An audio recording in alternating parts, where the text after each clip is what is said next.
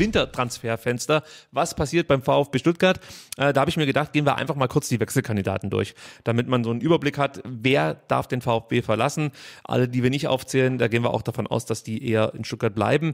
Allen voran muss man sagen, Philipp Clement, ich glaube, wenn es äh, da einen Verein gäbe, der bereit wäre, Clement entweder zu verpflichten oder auszuleihen, der VfB würde ihm keine Steine in den Weg legen. Ich glaube, die Geschichte ist leider Gottes beim VfB Stuttgart für Ja, ihn der Drops scheint gelutscht. Beendet. Äh, Erik Tommy auch genau das Gleiche, nur hier hast du das Problem, den müsstest du verkaufen oder seinen Vertrag verlängern. Denn er läuft im ähm, Sommer 2022 aus. Das heißt, äh, verleihen kannst du ihn nicht, nur wenn du den Vertrag verlängerst. Ähm, ich denke mal, hier könnte es vielleicht so ein Modell geben, dass du Tommy abgibst und keine Ablöse verlangst oder so. Ähm, ist halt die Frage, ob es ähm, äh, Interessenten gibt, äh, die dann auch bereit wären für Erik Tommy ja, ein ähnliches Monatssalär auszugeben, wie er jetzt beim VfB verdient. Der wird ja nicht schlecht verdienen, ne? das ist dann die, die Frage, ja. Gleiches gilt für Hamadi Al-Gadoui, also nicht, dass er gut verdient, beziehungsweise er wird nicht schlecht verdienen, aber also er ist halt ein Spieler, der auch, ich sag's jetzt mal ganz hart ausgedrückt, auf der Abschluss, Abschussliste steht. Auch sein Vertrag läuft 2022 aus, das heißt, auch hier könnte es nur einen äh, kompletten Wechsel geben und kein, ähm, kein Leihgeschäft. Aber auch da könnte ich mir vorstellen, wenn es einen Zweitligist gibt, der sagt, hey, wir brauchen einen Stürmer, habt ihr da nicht jemanden? ja. Was würdest du davon halten, Al-Gadoui abzugeben? Ist es dir zu riskant? Na, aktuell haben wir in der Startelf, ne? Ja. Ähm, schwierig, bin ich hin und her gerissen. Er bringt für mich nicht die Qualität, die du brauchst, um äh, den VfB wirklich dann voranzubringen und äh, auch die entscheidenden Tore im Abstiegskampf zu schießen. Also für mich ist es ein Spieler, den du abgeben kannst, aber nicht musst, weil er dir auch finanziell wahrscheinlich kein so großes Loch reißt, ja, um das Risiko einzugehen, diesen Kaderplatz ähm, ja, zu opfern. Die einzige Option, die ich sehe, ist, dass man sagt, äh, wir haben noch eine Option. Wir haben noch einen Stürmer, den wir äh, verpflichten können, ausleihen können. Also da kommen wir auch noch gleich drauf zu sprechen.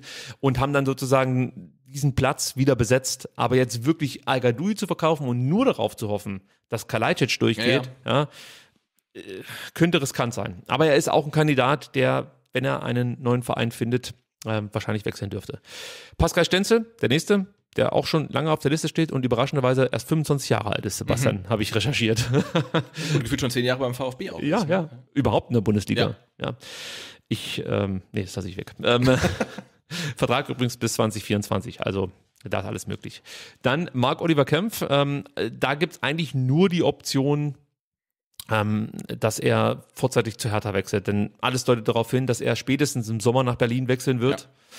Ähm, da muss man halt mal wa- abwarten, was Berlin bereit wäre zu bezahlen. Ich sage weiterhin, ich würde keinen guten Innenverteidiger einem direkten Konkurrenten geben. Ja. Ähm, auch wenn der VfB das Geld braucht. Ich verstehe das schon. Aber ähm, also Kempf habe ich halt einfach lieber bei mir als bei der Ja, Hertha. ja, auf jeden Fall. Schwierig. Da gehe ich mit, ja. Aber du brauchst halt die Kohle. Ja, aber ein Abstieg ist dann im Zweifelsfall teurer. Absolut richtig, ja. Ähm, von dem her, und viel würde es auch nicht bekommen. Also den verkaufst du jetzt nicht für 5 Millionen. Da kriegst du Ja. vielleicht anderthalb Millionen. Ich, gut, du sparst dir natürlich das Gehalt ein. ja. Kempf verdient gut beim VfB Stuttgart, ja. Clinton Mola ist ein Leihkandidat, ähm, ein Spieler, äh, hochinteressant für mich. Ich habe das Gefühl, immer wenn er spielt, denkt man, Mensch, der ist richtig gut. Und dann spielt er wieder nicht, beziehungsweise mal verletzt er sich. Das war das Hauptproblem in den letzten Jahren. Aber ähm, auch, sagen wir mal, nach dem Auftritt gegen Bielefeld, das war nicht herausragend. Der, der hat genauso Fehler gemacht wie seine Mitspieler. Aber trotzdem hätte ich mir gedacht, dass er häufiger mal wieder ein paar Minuten bekommt von Matarazzo. Ja. Hat mich schon überrascht. Ähm, vielleicht würde ihm eine Laie gut tun. Die Frage ist halt, wohin? Wohin, ja. ja also Zweite Liga. er muss spielen. Ja. ja, er muss spielen. Es ist halt echt schade, weil die Anlagen hat er. Ist für mich ein richtig, richtig guter Spieler.